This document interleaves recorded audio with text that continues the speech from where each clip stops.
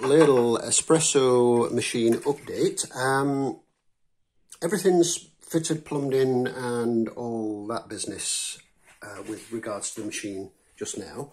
And the you can see the uh, water inlet pipe there, which runs under there.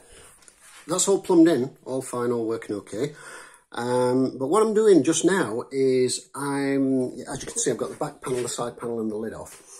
And I'm just trying a homemade insulator using a silicone baking mat, which is over here. And as you can see, it's silicone rubber and it's it's got little triangular bits on. And this is going to be the side that faces the boiler.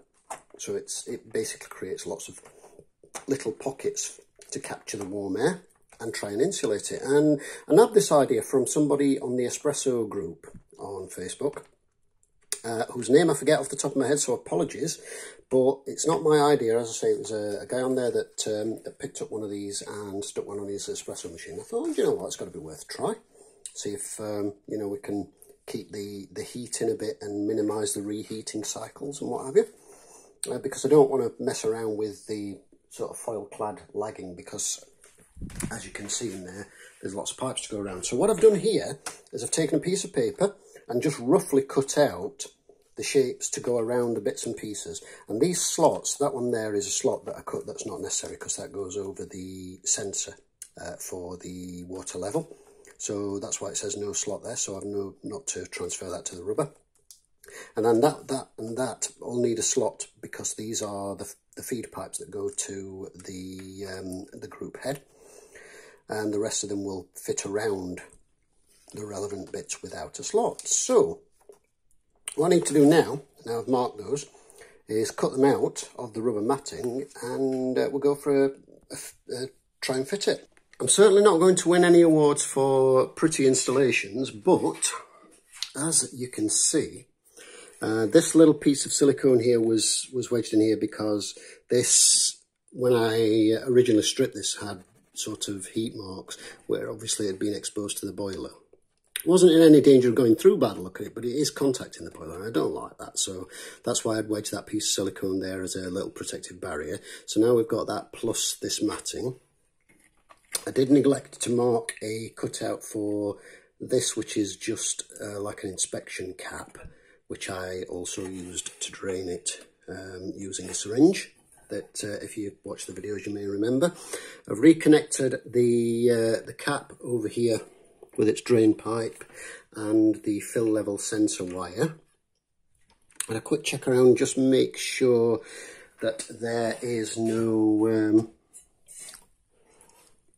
there's no sort of wires or anything trapped in between this mat and the boiler. And uh, I think that's actually pretty good. As I say, it's not the neatest, but what I need to do now is um, warm it up and see how long it takes. Um, I mm, now this this is interesting because I did an initial test and I took some notes down, which I will be adding at the start of this video. Um, but obviously that was with everything on, with the side panels and top on and everything, so I don't know if that's going to make a difference. So what I'm going to do is, uh, because I won't be uploading this straight away, I'm going to do a test just now with everything off to make sure that there's nothing obvious, obviously hideous going to occur. And, um, and then I will do another test tomorrow once I've reassembled it all and it's, and it's cold again. So let's uh, switch everything on. See if it needs any water.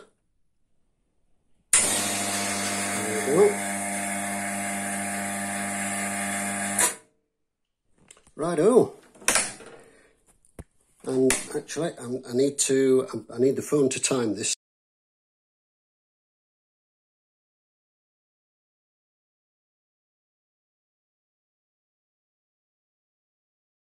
I'm going to go ahead and switch that on and start the stopwatch on the tablet. And I will be back momentarily. Uh, first of all, we'll be looking to see when the anti-vac valve um, pops up and it starts building up pressure. and then obviously uh, see how long it takes to get up to full pressure. Just up past six minutes and you can see the anti-vac valve is starting to spit.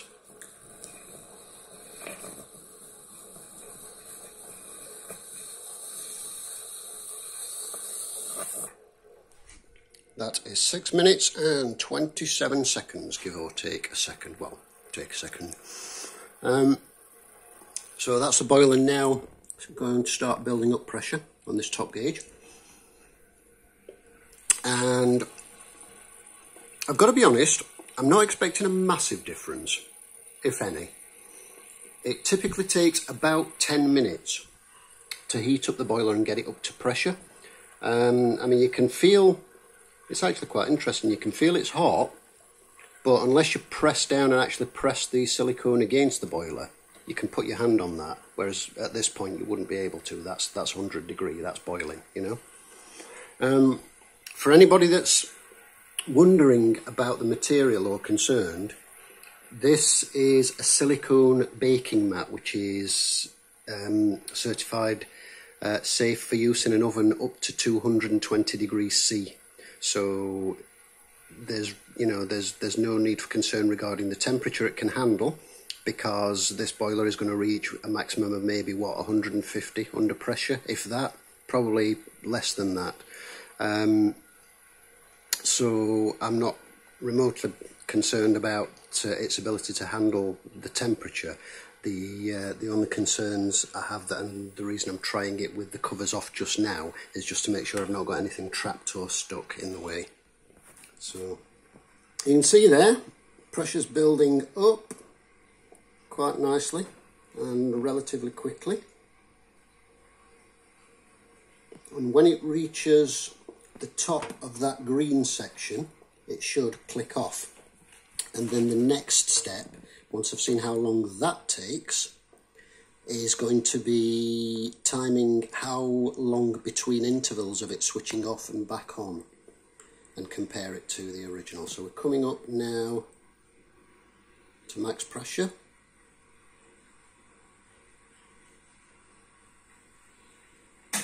There we go, that's just clicked off. That's 8 minutes 40 seconds.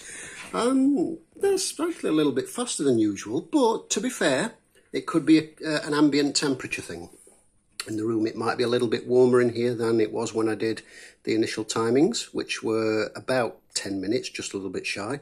So, you know, we'll see. Right, that's just clicked back on, which would probably be about a minute uh, given the cycle times. Uh, I'm actually going to stop that and reset it so I can start it again as soon as this clicks off. He says, there we go. So that's just clicked off again now.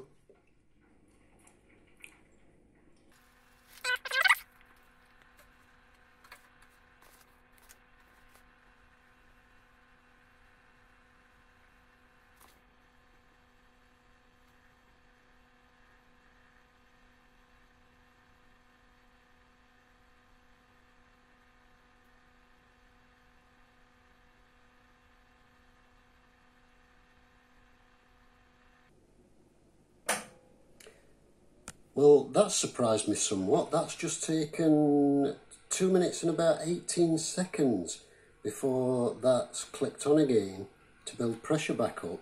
And before it was about a minute between them. Um, oh, wow, um, that seems unusually better. I don't know if it's just, it's, it could be, I mean, this is not particularly super scientific, so I don't know if it's maybe me or my measuring methods, but um, if that's the case, then certainly I'm going to be pleased with this because it's a very simple um, upgrade, as it were, modification, whatever you want to call it. Um, right, so I'm quite happy with that. I'm going to put the panels back on now and pour myself a nice latte, and then I will test it again tomorrow when the boiler's completely cold and see how it does then. This is the following day, just after lunchtime. Um, I've left it uh, long enough to make sure it was fully cool and um, switched it to position one top up the boiler, which it did, which it typically does after it's been warm. It obviously loses a bit of moisture because of the heating, evaporation, what have you. So when you switch it on the next day, as a rule, it will partially fill. So um, much like it did in the test that you saw, just previously. Obviously all the covers on it. I ran it through a cycle of heating up and then switching on and off, switching on and off to top up the pressure in the boiler. You can see it's just cooling down now. It's actually, the gauge is just going down. And I've got to say, I'm really pleasantly surprised. The fella who mentioned this in the espresso machine group, I will find out his name and I'll, I'll put it uh, on the screen here. Um, because it's it's it's worked really really well. Uh, I didn't expect much of a difference because he said he didn't get much of a difference on his, but his was an upright boiler and it was wrapped around the side. So I suspect he was actually losing more heat from the top than uh, he thought he would. Um, and obviously with this boiler being laid on its side and the mat laying across the top, it's helping to retain a lot more of it. And bear in mind, it's not even covered on the sides. I'm really, really impressed by the difference. And it kind of gives you an idea if you if you insulated it properly with the with the thick sort of um, foil type padding, how much better that could be. But I took screenshots of the split timer to show you the uh, the performance. I'm really, really surprised by it. If we take a look at the chart where I've labelled in red 1 to 5, Number one here is where the anti-vac valve closed, which is where the water was boiling. Number two, 2 minutes 11.69 seconds later, is where it reached max pressure and switched off. Number three is where it switched back on, so that's 1 minute 27.2 seconds. And then it took 15.75 seconds to reheat back to full temperature, which is number four and then on throughout the remainder of the chart. So you can see there right up to number 11 for a total running time of 23.03.06. Um, as you can see in the top. These are just individual screenshots because I couldn't fit all of the readings onto one screen. But you can see the timing differences before between uh, the the timing to heat back up, such as number six above the number five, 18 seconds, um, and then it took two minutes 52 to start to reheat again, then 18 seconds to reheat, then three minutes, then 16 seconds, then three minutes, um, and, so on. And as you can see, it's actually taking longer between the reheat cycles because what's happening during this initial heating up phase is that the water is circulating and also heating the group head. So as it heats the group head, it retains heat better. But you can see that there are much longer gaps between the waiting to heat cycle and much shorter periods of time to heat it back up to full pressure. So all in all, I'm really, really pleased with this. So I hope this was useful for you. Thank you for watching and we will see you in the next video.